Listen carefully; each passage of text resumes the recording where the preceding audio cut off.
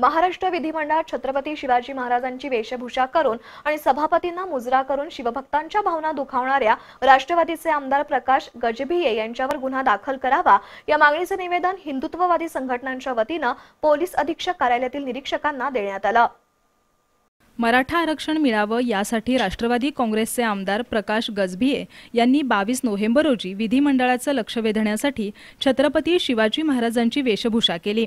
त्यावेळी त्यांनी विधान परिषदेचे सभापती रामराजे नाईक निंबाळकर यांचं विधिमंडळ परिसरात आगमन होताच त्यांना मुजरा केला. त्यामुळे शिवभक्तांच्या भावना दुखावल्यात.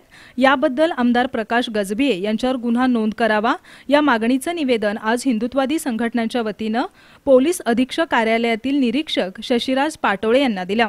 यावेळी संभाजी साळुंखे महेश उरसाल किशोर घाटगे सुनील पाटील राजू यादव केदार वाघापूरकर स्वानंद कुलकर्णी यांच्यासह पदाधिकारी उपस्थित होते.